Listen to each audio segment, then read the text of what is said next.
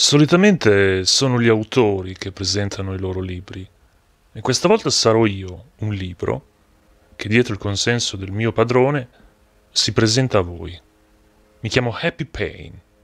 Forse non lo sai, ma pure questo è amore, il mio sottotitolo.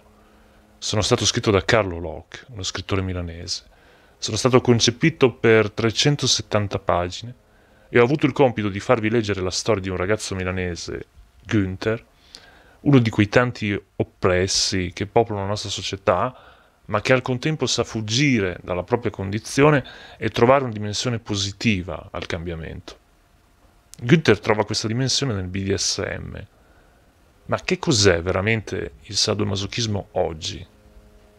Se pensate che io sia il solito romanzo erotico, allora chiudetemi subito non ho niente a che vedere con 50 sfumature di grigio, anche perché il mio protagonista non possiede elicotteri personali, è semplicemente un disoccupato. Ebbene, se volete scoprire chi è il mio protagonista, allora cominciate a leggermi piano piano, ma non vi stancate, mi raccomando, eh? tenete duro e vi prometto che non ve ne pentirete.